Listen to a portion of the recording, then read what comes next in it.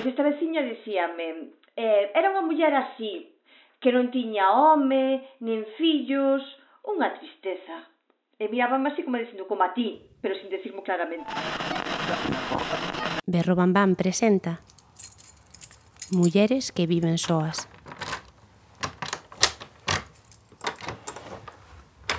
Rebeca entre Marta Nussbaum e Marfi Brown.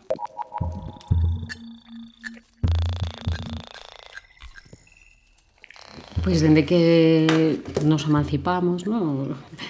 Casi 20 anos, non vivindo só, máis ou menos, sí. E eso por temporadas con, con amigas ou con alguna parella e tal. E despois así xa últimamente eh, 10 anos de forma máis precaria ao principio e despois eh, pois xa máis non estable porque sí que vivir só, claro, implica máis gasto.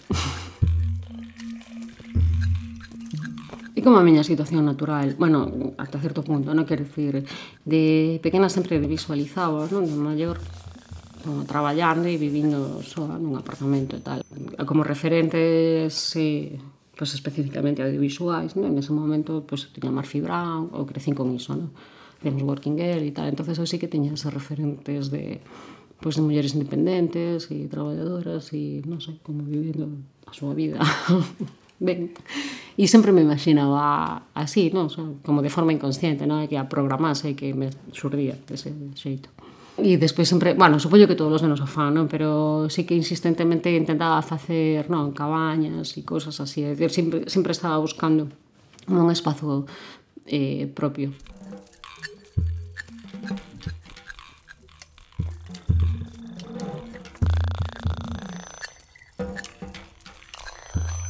non teño ningún tipo de foi a, a compartir a existencia ou a vida con outra persoas, vamos, ou un rexeitamento consciente ou tal. E de feito necesito certa rede, non? concibo o ser humano como ser social e non a partir do individuo, non como a onda liberal un individuo e o outro como unha limitación, sino sei que me parece que a relación cos demais te axuda a crecer e tal. Si que o estar só Mm, digamos que como que deixas de representar, ¿no? deixas o personaxe, a identidade. E entonces atravesas zonas de ti, ¿no? que non atravesas cando te estás relacionando cos demais. E iso implica, non, ou pode permitir un certo, bueno, proceso de autocoñecemento, implica zonas difíciles, fangosas, non, escuras, pero dá, dá unha certa fortaleza.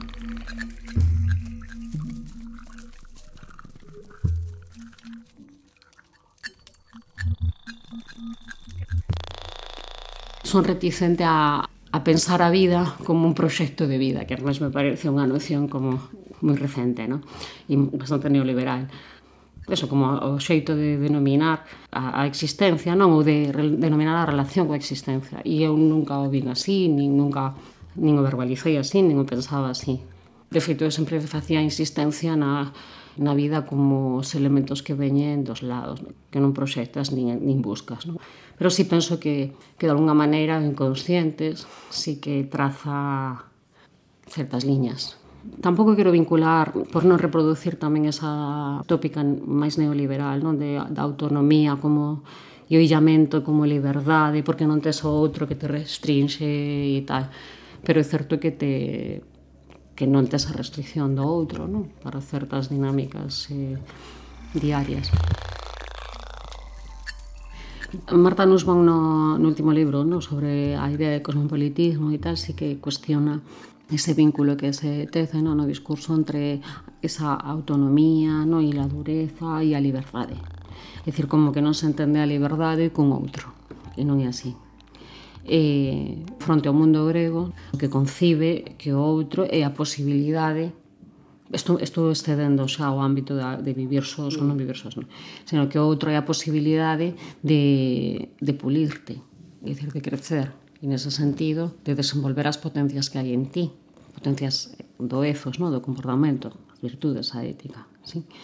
Nun planteamento liberal, ese outro é un límite, e reproducimos iso porque se asume a liberdade como o desexo indefinido ou ilimitado, ilimitado eh, do eu.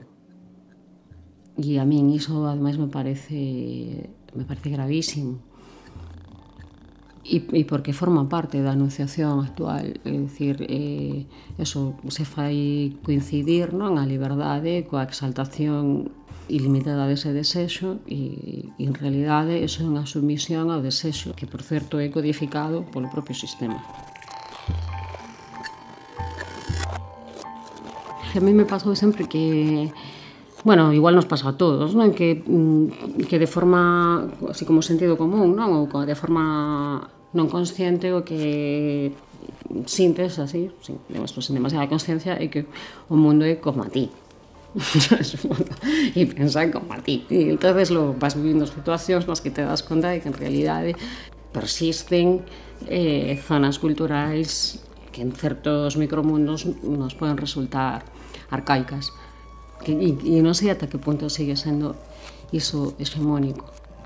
E mentre tú te estás pensando como unha, como Murphy Brown, outro non te está vendo así que ves que na mirada do outro está presente eh, unha sospeita sobre as mulleres que viven sodas.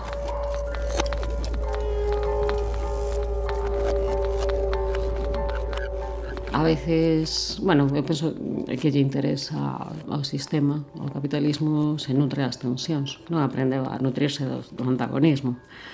Sí, o, o antagonismo que no, no marxismo generaba constituía a loita de clases generaba o cambio no modo de produción. Decía Marx pois cando os antagonismos non a, cheguen a, pois, a certo extremo no capitalismo caerá por si sí mesmo E que sucede que o capitalismo non cae por si sí mesmo, sino que aprendeu a nutrirse dos antagonismos, das tensións e tal. entonces agora un modo eh, esencial de produción eh, do capitalismo non? semiótica e que sustenta a económica é con Dabelbain, é dicir, co, dicindo unha, unhas cousas e as contrarias. Non? E, por lo tanto, por eso recibimos, por un lado, non? E, bueno, enunciados de emancipación e tal, e por outro lado tamén cousas moi conservadoras e que, e que siguen subsistindo ademais. Pero ademais tamén me parece que no, quizáis non está tan presente o modelo da muller emancipada que vive soa, senón as mulleres poden con todo, es decir, que coa maternidade, cos cuidados e co traballo productivo en realidad eso que se está transmitindo, porque si o que se fai máis fincabe, me parece, percibo a sensación a min, é nos modelos tradicionais de, de maternidade é dicir, o sabor, ou digamos na secuencia tradicional da existencia mm, mentras cumpres esta función, mentras cumpres esta función, mentras cumpres esta outra función, emancípate, cree en ti, sé forte e aguanta con todo isto. ¿no?